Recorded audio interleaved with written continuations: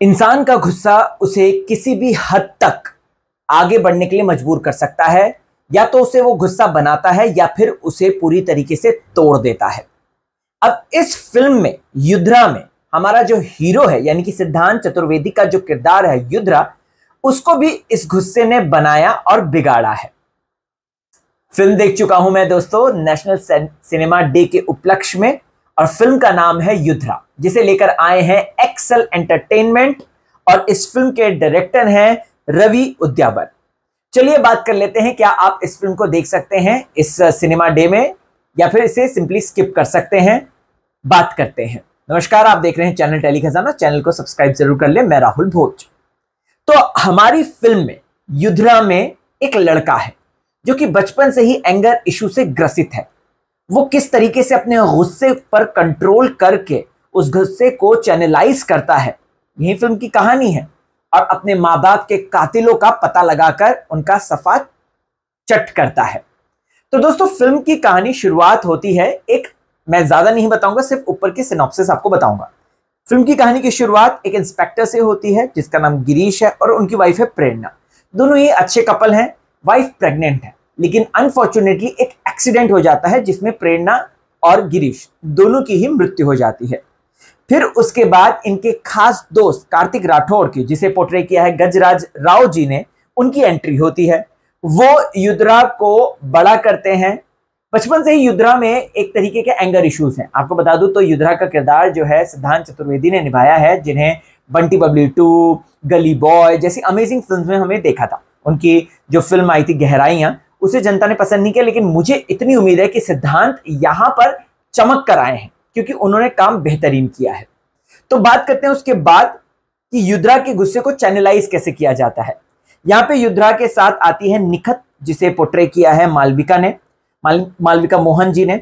और उसके बाद वो कहती हैं कि एक काम करो तुम जो है एनसीटीए यानी कि national cadet national cadet training academy में भर्ती कर लो। गवर्नमेंट इंस्टीट्यूशन है, वहाँ पे अपना सारा गुस्सा निकालो, जितना तुम ड्रग माफिया को पकड़ो, चोर उचक्कों को पकड़ो, ये पकड़ो, देश की रक्षा करो, सब ये काम कर लो।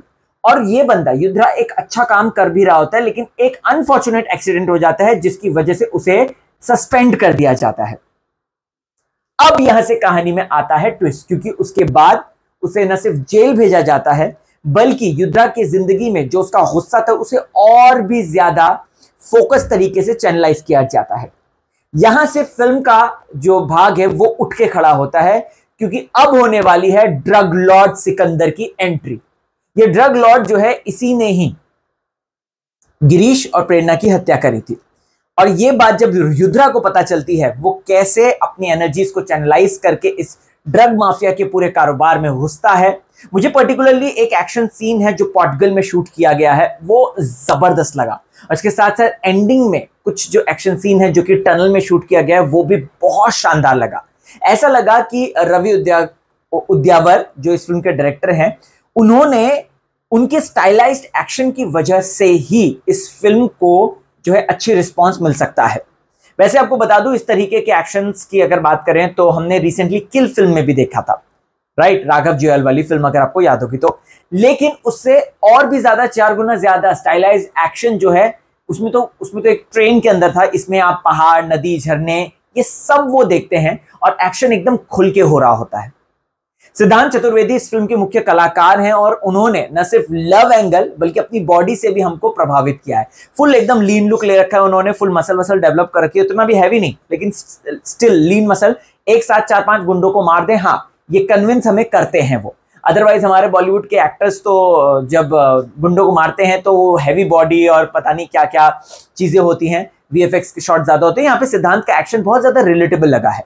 सिद्धांत की डायलॉग डिलीवरी पहले की फ़िल्मों के कंपेयर में, उनकी जो पहले की फ़िल्म थी, उसके कंपेयर में यहाँ पर बहुत ज़्यादा स्टाइलाइज लगी है। वो देसी हमारे जो है जॉन विक या फिर देसी हमारे जो है जेम्स बॉन्ड भी नज़र आ रहे हैं। और सिद्धांत एक्शन फ़िल्मों में बहुत अच्छा कर सकते हैं, इतना तो मैं गारंटी के साथ कह सकता हूँ।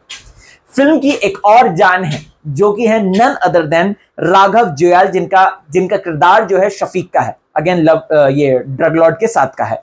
उन, उनकी एंट्री के बाद से ही फ़िल्म और भी ज़्यादा पेस पकड़ने लग जाती है और राघव इस फ़िल्म को एक एडिशनल पॉइंट देते हैं। अगर मैं एक स्टार एक्स्ट्रा दूँगा इस फ़िल्म को तो राघव जुयाल के परफॉर्मेंस के लिए ज़रूर दूँगा। तो अगर बात की जाए दोस्तों तो फ़िल्म की कहानी प्रिडिक्टेबल है नो डाउट लेकिन उसको जो शूट किया गया है, उसको जिस तरीके से डायरेक्ट किया गया है, वो देखने में बड़ी मज़ेदार है। तो भाई, इस नेशनल सिनेमा डे के उपलक्ष्य में जाओ, जाके फ़िल्म देख कर आओ, मात्र नब्बे रुपए का टिकट है। और साथ ही साथ अगर पसंद आए तो फिर भाई वीकेंड में भी ज़बरदस्त देखो। तो फ़िल्म को टोटल मिला के मैं साढ़े तीन स्टार देना चाहूँगा। सिद्धांत चतुर्वेदी को डेढ़ स्टार जिन्होंने बहुत अच्छा परफॉर्म किया है। मतलब अभी तक के बेस्ट रोल्स में से। गली बॉय का तो उनका नो डाउट वो एक अलग था। यहाँ पर एक अलग है। उसके साथ साथ एक स्टार अपने डायरेक्टर साहब के उनके डायरेक्शन के लिए और एक स्टार जो है यहाँ पर राघव जुआल के लिए ज़रूर देना चाहूँगा। सो so, टोटल मिला के आप इस फ़िल्म को अगर आप एक्शन पसंद करते हैं अगर मारधार स्टाइलाइज वर्जन में हॉलीवुड फ़िल्म देखते हैं तो ये फ़िल्म आपके लिए ही है। जाओ जाके फ़िल्म देखो। एंड ऑफ़ कोर्स सिद्धांत और राघव दोनों के बारे में कमेंट सेक्शन में कमेंट ज़रूर करना कि कैसा लगा उनका परफॉर्मेंस बाय बाय